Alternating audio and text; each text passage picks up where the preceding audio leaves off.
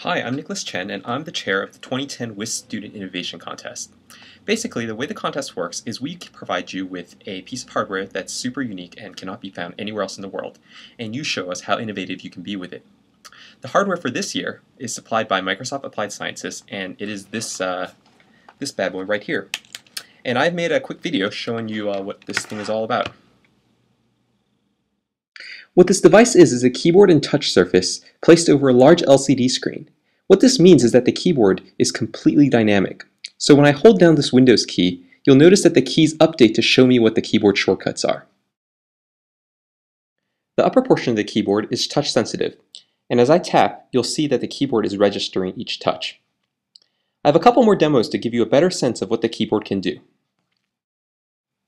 Programs running on the computer can change the keyboard on the fly to customize it for the task at hand. For instance, in this app running on the computer that the keyboard is attached to, you can change from an American keyboard, to a French keyboard, to a Russian keyboard. Programs have a great deal of control about how things get drawn to the screen.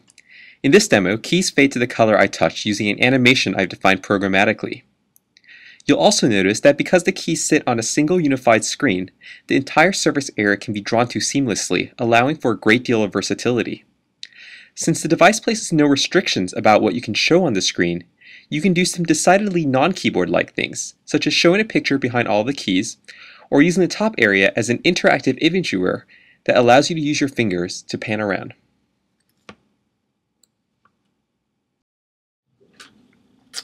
So hopefully you like what you saw, and if you think you can do something really awesome with this keyboard, I encourage you to go to our website at www.acm.org/uist, and if you click on the student contest link, you'll get a web page explaining uh, the contest rules, how to get signed up so that you get a keyboard, the prizes we'll be awarding, and a Q&A section with frequently asked questions.